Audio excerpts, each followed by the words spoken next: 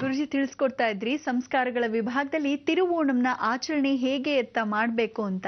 ಎರಡು ರೀತಿಯಾದ ಗೋಮಯವನ್ನ ನಾವು ಇವತ್ತು ಸಂಗ್ರಹಿಸಿ ತಂದಿಡ್ಬೇಕು ಮನೆಯಲ್ಲಿ ಅಂತ ಹೇಳಿದ್ರಿ, ಮುಂದೇನ್ ಮಾಡ್ಬೇಕು?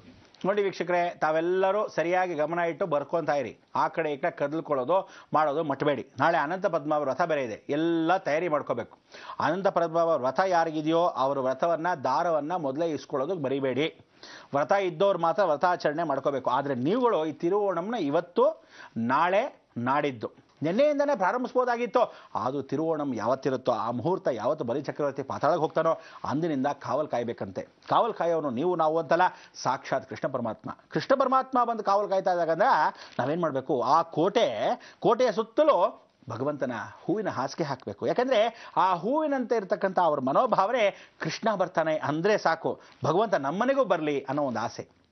ಯಾಕೆ? ಪಕ್ಕದ ಮನೆಗೆ ಹೋಗ್ತಾನೆ, ಇಲ್ಲಿಂದ ಆ ಮನೆಗೆ ಹೋಗ್ತಾನೆ. ಎಲ್ಲರೂ ಮನೆಗೂ ಹೋಗ್ತಾ ಇರೋನು ನಮ್ಮ ಮನೆಗೂ ಬಂದ್ರೆ ಚೆನ್ನಾಗಿರುತ್ತೆ ಅದಕ್ಕೆ ಬೀದಿ ಬೀದಿಯಲ್ಲಿ, ಗಲ್ಲಿ ಗಲ್ಲಿಯಲ್ಲಿ ಎಷ್ಟು ಜನದ ಮನೆಯಲ್ಲಿ ಆ ಹೂ ಹಾಸಿಗೆಯನ್ನು ಹಾಕಿದಾಗ ಭಗವಂತ ಈ ಲೋಕದಲ್ಲಿ ಎಷ್ಟು ಚೆನ್ನಾಗಿ ಆ ಪಾದಕೆಗಳನ್ನು ಇಟ್ಟುಕೊಂಡು ಕೃಷ್ಣ ಜನ್ಮಾಷ್ಟಮಿಗೆ ಮಾತ್ರ ಅಲ್ಲ, ಅನಂತ ಪದ್ಮ ದಿವಸಕ್ಕೆ ಮಹಾವಿಷ್ಣು ಸ್ವರೂಪದಲ್ಲಿ, ವಾಮನ ರೂಪದಲ್ಲಿ, ನಿಮ್ಮ ಯದ್ಭಾವಂ ತದ್ಭವತಿ ಅಂತ ಕೃಷ್ಣ ಸ್ವರೂಪದಲ್ಲಾದರೂ ಸರಿ ಒಳಗಡೆ ಬರ್ತಾನೆ, ಭಗವಂತ ಖಂಡಿತವಾಗಲೂ ಕೋಟೆಯನ್ನು ಕಾಯ್ತಾನೆ, ಆ ಕೋಟೆಯ ದರ್ಶನವನ್ನ ಬಲಿಚಕ್ರವರ್ತಿಗೋಸ್ಕರ ಕಾಯ್ತಾನೆ. ಇದು ನಿಜವಾದ ಸತ್ಯ. ಅದಕ್ಕೆ ಕೃಷ್ಣನ ಹಾಡು ಎಲ್ಲರೂ ಹಾಕ್ಕೊಂಡು, ಇವತ್ತಿನ ದಿವಸ ಕೃಷ್ಣ ಸ್ಮರಣೆ ಮಾಡಿಕೊಂಡು, ಅನಂತ ಪದ್ಮನಾಭಿರತಕ್ಕಂಥ ನಿದ್ರಾಸವದಲ್ಲಿ ಪರಿಪೂರ್ಣ ಅನುಗ್ರಹವನ್ನು ಪಡಿತಕ್ಕಂಥ ನೀವುಗಳು ಕೃಷ್ಣ ಪರಮಾತ್ಮನ ಸ್ಮರಣೆ ಮಾಡ್ಕೊಳ್ಳೋಕ್ಕೆ ಆ ಗೋಮಯವನ್ನು ವಿಶೇಷವಾಗಿ ಮಾಡ್ಕೋಬೇಕು. ಮೊದಲಾಗಿ ಏನು ಮಾಡಿ? ಮನೆ ಸುತ್ತಲೂ ಗೋಮೂತ್ರವನ್ನು ವಿಸರ್ಜಿತ ಸ್ವರೂಪದಲ್ಲಿ ಶುಚಿರ್ಭೂತಗೊಳಿಸ್ಕೋಬೇಕು. ತದನಂತರ ಸೆಗಣಿ ನೀರಲ್ಲಿ ಸಾರಿಸ್ಬೇಕು. ಸೆಗಣಿ ನೀರಲ್ಲಿ ಸಾರಿಸೋದು ಅಂದರೆ, ಏ, ಈ ಮನೇಲೆಲ್ಲ ಸಾರಿಸ ಸಾರಿಸಿ ನಿಮ್ಮ ತಾತನ ಮನೆ ಗಂಟೆ ಏನೂ ಹೋಗಲ್ಲ. ಟೈಲ್ಸ್ ಆದರೂ ಪರವಾಗಿಲ್ಲ. ಸ್ವಲ್ಪ ಮಟ್ಟಿಗೆ ಗೋಮಯವನ್ನು ನೀರಲ್ಲಿ ಎದ್ದುಕೊಂಡು ಲಕ್ಷಣವಾಗಿ ಹಾಗೆ ಸಾರಿಸ್ಬೇಕು. ಕೈಯಲ್ಲಿ ಸಾರಿಸ್ಬೇಕು ಪರ್ಕೆಲ್ ಸಾರಿಸೋದಲ್ಲ. ಯಾಕಂದರೆ ದೇವರುಗಳನ್ನ ವಾಹನೆ ಮಾಡಬೇಕಾದ್ರೆ ವಿಶೇಷತೆ. ಕೆಲವರನ್ನ, ಅಯ್ಯೋ, ವಾಸನೆ. ಏನು ವಾಸನೆ ನಿಮ್ಮ ಪಿಂಡ? ಭಗವಂತನೇ ಸ್ವತಃ ಬಂದಿರಬೇಕಾದ್ರೆ ಕೈಯೇನು ಸೋದು ಹೋಗಲ್ಲ. ಲಕ್ಷ್ಮಣವಾಗಿ ಹಾಕಿ. ಮನೆ ಮುಂದೆ ಮಾತ್ರ ಸಾಕು. ಅಷ್ಟು ಚೆನ್ನಾಗಿ ಹಾಕಿ. ರಂಗೋಲಿಯನ್ನು ಅಕ್ಕಿ ಹಿಟ್ಟಲ್ಲಿ ಹಾಕಿ. ರಂಗೋಲಿ ಹಿಟ್ಟಲ್ಲಿ ಹಾಕೋದಲ್ಲ. ಆ ರಂಗೋಲಿ ಯಾಕೆಂದರೆ ಮಾರ್ಕಿಂಗ್ ಬೇಕಲ್ಲ ಕೆಲವರಿಗೆ. ನಾನು ಸುಮ್ಮನೆ ಹೂ ಜೋಡಿಸ್ಕೊಂಡ್ಬಿಟ್ರು, ನಮಗೆಲ್ಲ ಕೆಲವರು ಜೋಡಿಸ್ಕೊತೀವಿ. ನಿಮ್ಗೆ ಆಗದೇ ಇರಲ್ಲೇ? ಅದಕ್ಕೆ ಒಂದು ಮಾರ್ಕ್ ಹಾಕ್ಕೊಂಡು, ಯಾವ ರಂಗೋಲಿ ಹಾಕ್ತಿರೋ ಆ ರಂಗೋಲಿ ಸುತ್ತಲೂ ವಿಶೇಷ. ಇದರಲ್ಲಿ ನೀವೇನು ಮಾಡಬೇಕು? ಕೋಟೆಗೆ ಐದು ಬಾಗಿಲುಗಳು. ಯಾವ ತಿಳ್ಕೊಳ್ಳಿ? ಪಂಚಭೂತೇನ ಸ್ಥಿರ. ಅದಕ್ಕೆ ಐದು ಬಾಗಿಲುಗಳಿಗೆ ಐದು ವಿಶೇಷ ಅಂದಕ್ಕೋಸ್ಕರ ಎರಡನ್ನ ದ್ವಿಕಲತ್ರ ಯೋಗ ಸ್ವರೂಪ ಅಂತ ಕೇಳ್ತೀವಿ. ಎರಡು ಪಾದಕೇನ ಪಾತಾಳ ಲೋಕಕ್ಕೆ, ಊರ್ಧ್ವ ಲೋಕಕ್ಕೆ ಎರಡೂ ಇಟ್ಟಿರೋದ್ರಿಂದ ಎರಡು ಹೊತ್ತು ಪ್ರಾತಃ ಕಾಲದಲ್ಲಿ ದೇವತೆಗಳನ್ನ ಸಾಯಂ ಸಂಧ್ಯಾಕಾಲದಲ್ಲಿ ರಾಕ್ಷಸ ಸ್ವರೂಪದಲ್ಲಿರ್ತಕ್ಕಂಥ ಯಕ್ಷ, ಕಿನ್ನರ ಕಿಂಪುರುಷಗಳನ್ನ ಇವರನ್ನಿಬ್ಬರನ್ನು ಆ ಮುಸ್ಸಂಜೆ ಹೊತ್ತು ಪ್ರಾತಃ ಕಾಲದಲ್ಲಿ ಎರಡು ಸೊತ್ತು ಆ ಗೋಮಯವನ್ನು ಹಾಕಿದ್ದ ಒಂದು ಕ್ಷಣದಲ್ಲಿ. ಹೋಗಿ ಕಿತ್ಕೊಂಡ್ಬಂದ್ಬೇಡಿ ಬೇಗ ಬೇಗ ಬೇಗ ಬೇಗ ಅರ್ಜೆಂಟ್ ಅರ್ಜೆಂಟ್ ನಾನು ಕಿತ್ಕೊಂಬಿಟ್ಟ ಅವ್ನು ಕಿತ್ಕೊಂಬಿಟ್ಟ ಅಂತ. ಯಾರಿಗಾದ್ರೂ ಹೇಳಿಟ್ಟಿರಿ. ಇಲ್ಲ, ಮೊದಲೇ ಸ್ಟಾಕ್ ಇಟ್ಕೊಳ್ಳೋಕ್ಕೆ ಸ್ವಲ್ಪ ಮಟ್ಟಕ್ಕೆ ಸಾಕು. ಜಾಸ್ತಿ ತಂದಿಟ್ಕೊಂಬಿಡಿ ಕೆಲವು ತಂದರೆ ತೊಗೊಂಬನಿ ಅಂದರೆ ಇರೋದೆಲ್ಲ ಬಾಚ್ಕೊಂಬಂದ್ಬಿಡ್ತಾರೆ ಹಾಗೆಲ್ಲ ಬಾಚ್ಕೊಂಬಂದ್ಬಿಡಿ ಸೆಗಣಿ ನೀರು ಸಾರ್ಸಕ್ಕೆ ಎಷ್ಟು ಬೇಕೋ ಅಷ್ಟು ಸ್ವಲ್ಪ ಮಟ್ಟಿಗೆ, ಇಷ್ಟು ಗೋಪ್ರಾಕಾರದಲ್ಲಿ ಮಧ್ಯಕ್ಕಿಡಕ್ಕೆ ಒಂದು, ಎರಡು, ನಾಲ್ಕು ದ್ವಾರಗಳಿಗೆ ಕೊನೆಯದಾಗಿರ್ತಕ್ಕಂಥ ರಂಗೋಲಿಯ ಕೊನೆಯ ದ್ವಾರಗೆ ಇದನ್ನಿಟ್ಟು ಮೇಲ್ಗಡೆ ಒಂದು ಹೂವಿನ ಭಾಗ್ಯ. ಇವತ್ತು ಗರ್ಕೆ ಹುಲ್ಲು ಇಡಬಾರ್ದು. ಹೂವನ್ನೇ ಇಡಬೇಕು. ಆ ಹೂವನ್ನು ಇಟ್ಟು ವಿಶೇಷವಾಗಿ ಎಲ್ಲ ಜನ ಚಂಡಿ ಹೂವು ಇಟ್ಬಿಡ್ತಾರೆ. ಚಂಡಿ ಹೂವನ್ನು ಯಾವತ್ತೂ ಮನೆ ಒಳಗಾಗಲಿ, ಪೂಜೆಗಳಿಗಾಗಲಿ ಇಟ್ಕೋಬಾರ್ದು. ಮನೆ ಚಂಡಿ ಆಗತ್ತೆ ರಣಚಂಡಿ ಕಹಳೆಯನ್ನು ಊದ್ತಾಳೆ. ಸೌಮ್ಯವಾಗಿರ್ತಕ್ಕಂಥ ಹೂ ಒಳ್ಳೆ ಲಕ್ಷಣವಾಗಿ ಶಾಮಂತಿ ಹೂ ಇಡಿ colour colour colour colour colour ಎಷ್ಟು ಹೂಗಳಿರುತ್ತೋ ಒಂಬತ್ತು ಆವರಣಗಳು ಹಾಕಬೇಕು. ಅವನ ಕೋಟೆ ಕೂಡ ಒಂಬತ್ತು ಆವರಣಗಳು. ಯಾಕಂದರೆ ಮಹಾಲಕ್ಷ್ಮಿ ಸ್ವತಃ ಬಲಿಚಕ್ರವರ್ತಿ ಕೋಟೆಯಲ್ಲಿ ವಾಹನವಾಗಿ ಕೂತಿದ್ಲಂತೆ. ಅದಕ್ಕೆ ಪುಟಾಣಿ ಗೂಬೆ ಇದೆಯಲ್ಲ? ನಾನು ಹೇಳಿದ್ನಲ್ಲ, ತಂದಿದ್ರೆ ಅದನ್ನೂ ಅಲ್ಲಿ ಇಟ್ಟೆ ಪೂಜೆ ಮಾಡಿ. ಏನೋ ಹೊತ್ಕೊಂಡು ಕುತ್ಕೊಂಡ್ಬಿಡ್ತಾನೆ, ಹುಷಾರ್. ಆದರೆ ಹೊಸಲ ಹತ್ರ ಇಟ್ಟು ಪೂಜೆ ಮಾಡಿ ತದನಂತರ ವಾಪಸ್ ತಂದ್ಬಿಡಿ. ಆ ರೀತಿ ಪೂಜೆ ಮಾಡಬೇಕಾದ್ರೆ. ದಯವಿಟ್ಟು ಹೇಳ್ತೀನಿ, ಉತ್ತರಕ್ಕೆ ಕೂತ್ಕೊಂಡು ಪೂಜೆ ಮಾಡ್ಬೇಕು ನೀವೆಲ್ಲ.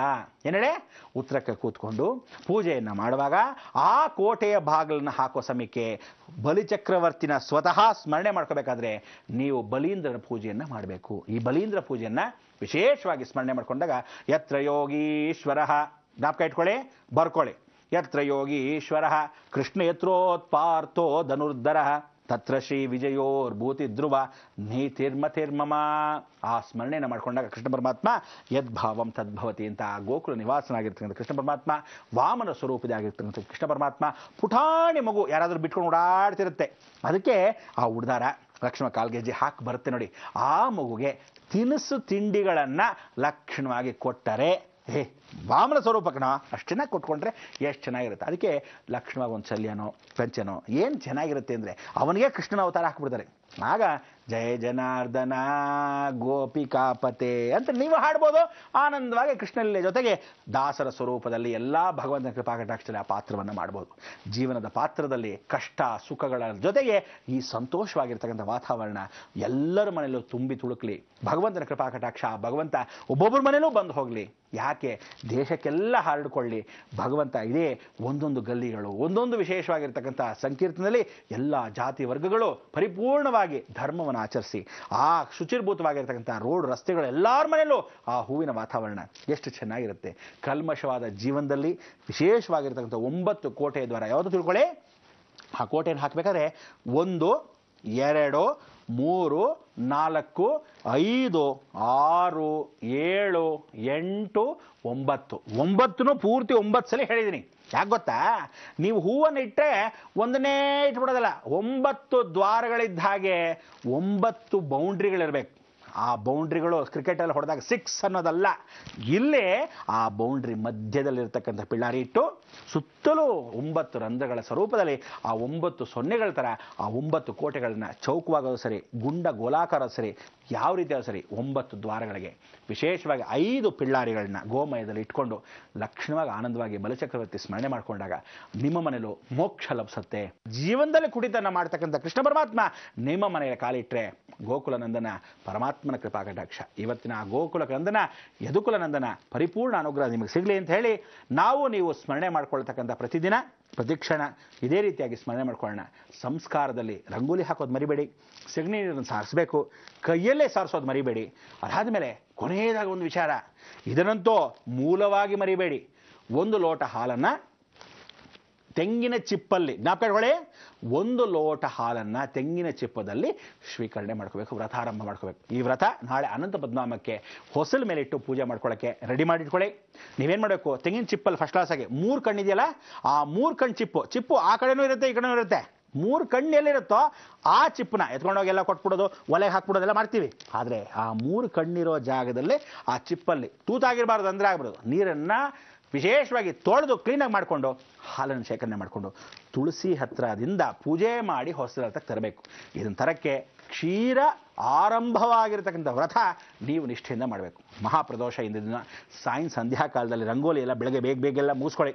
ಸಾಯಂಕಾಲ ಪರಮೇಶ್ವರನ ಸ್ಮಾರಕ ಮಾಡೋಕ್ಕೆ ಒಳ್ಳೆ ಅನುಕೂಲವಾಗುತ್ತೆ. ಪರಮೇಶ್ವರ ನಂದಿ ಸ್ವರೂಪದಲ್ಲಿ ಹಸು ಏನಾದರೂ ಬಂದ್ಬಿಟ್ರೆ ನೋಡಿ ನಂದೀಶ್ವರ ಅದೊಂದು ಕ್ಷೇತ್ರದ ವಿಚಾರ ಹೇಳ್ತಾ ಇದ್ದೀನಲ್ವಾ ಅದನ್ನು ತಿಳಿಸ್ಕೊಳ್ಳೋಣ. ಲೋಕವೆಲ್ಲ ಸುಭಿಕ್ಷವಾಗಿರೋಕ್ಕೆ ನಾವು ಮಂಗಳ ಹಾಡ್ಬಿಡೋಣ ಪಾಪ ಯಾರೋ ಬೈಕೊಂತೀರ. ಏನ್ರಿ ಹೇಳಿದ್ ಹೇಳ್ತಾನೆ ಇದ್ದೀರಾ ಇದೊಂದು, ಅದೊಂದು ಅದೊಂದು ಅಂತ. ನೂರೆಂಟು ಹಬ್ಬಗಳಾದರೂ ವ್ರತಾಚರಣೆ ಒಂದೇ. ಜೀವನದಲ್ಲಿ ಎಲ್ಲ ಬಣ್ಣಗಳು ಒಂದೇ. ನವರಂಧ್ರಗಳ ಮುಖಾಂತರವಾಗಿ ಜೀವನ ಸಾಗಿಸೋದು ಎಷ್ಟು ಕಟ್ಟುಗಳು ಅಂದರೆ ನವಗ್ರಹಗಳನ್ನು ದಾಟಿ ನವರಾತ್ರಿಗಳನ್ನು ಆಚರಿಸೋಕ್ಕೆ ಹತ್ರ ಬಂತು ಇನ್ನೇನು ನವರಾತ್ರಿ ಹಬ್ಬ. ಭಗವತಿ ಕೃಪಾಕಟಾಕ್ಷದಲ್ಲಿ ಪಾತ್ರ ಆಗೋಣ. ಲೋಕವೆಲ್ಲ ಸುಭಿಕ್ಷವಾಗಿ ಹೇಳೋಣ. ಲೋಕ ಸಮಸ್ತ ಸುಖಿನೋ ಭವಂತು. ಸನ್ಮಂಗಳಾನಿ ಭವಂತು.